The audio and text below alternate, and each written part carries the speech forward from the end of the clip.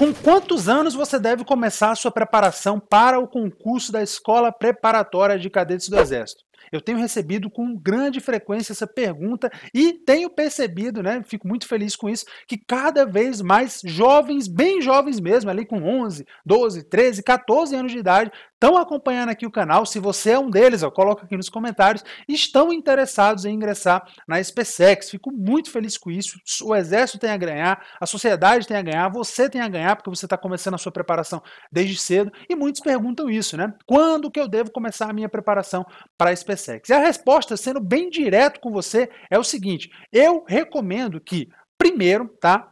Até você ingressar no ensino médio, você se preocupe em ser um bom aluno, ser um bom cidadão e ser um bom filho. Tá? Então, se você se preocupar com esses três tópicos, estudar bem, ser um bom aluno no colégio, tirar boas notas, eu estou falando do ensino fundamental, tá? Você ainda não chegou no ensino médio. Então, nesse período, até chegar no ensino médio, se dedica no seu colégio, tirar notas boas, em utilizar os conhecimentos dos professores, tirar suas dúvidas, fazer as atividades, tá? Criar bons hábitos, começa a ler, começa a praticar atividade física, eu recomendo que você faça natação desde cedo, Tá? até para você não ter tanto impacto aí nas suas articulações, vai favorecer seu crescimento. Então, durante essa primeira etapa da sua vida, é isso que você tem que fazer. Seja um bom filho, ajude em casa, seja um bom cidadão.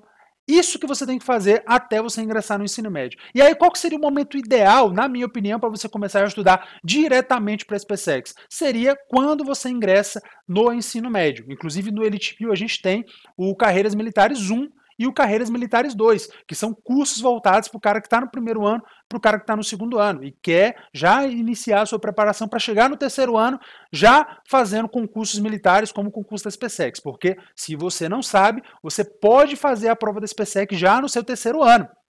Então, por isso que eu falo, começando a sua preparação no primeiro ano, vai ser muito bizu, porque quando você chegar no terceiro ano, você já vai ter três anos de preparação e você vai poder se preparar com muito mais calma. Você não vai precisar ficar correndo, você vai ter tempo para construir a sua base. Porque imagina, é, eu vou construir uma casa, só que eu tenho, para fazer essa casa, eu tenho uma semana para fazer a base dela. Né? De outro modo, né, em, em, em, outra, em outra situação, eu vou fazer uma casa e eu tenho um ano para fazer a base dessa casa. Qual a base que vai ficar melhor? É lógico que é a base que eu tenho mais tempo para fazer. Então, quando você tem mais tempo para estudar, cara, você vai é, é, você vai ter muito menos vícios na sua preparação. Você vai conseguir estudar de uma forma muito mais tranquila e eficiente, porque você sabe que você tem mais tempo. Agora, cuidado para não ficar procrastinando, né? Porque você tem tempo demais acaba procrastinando, perdendo tempo com besteira, tá? Mas aí eu acho que iniciando o seu ensino médio é o momento ideal para você começar a sua preparação para o concurso da SpaceX. Aí muitos perguntam também o seguinte: Tenente, eu já sei que eu quero fazer a SpaceX. É o caso, por exemplo, ingressar no curso do Elite 1000 já no primeiro ano do ensino médio?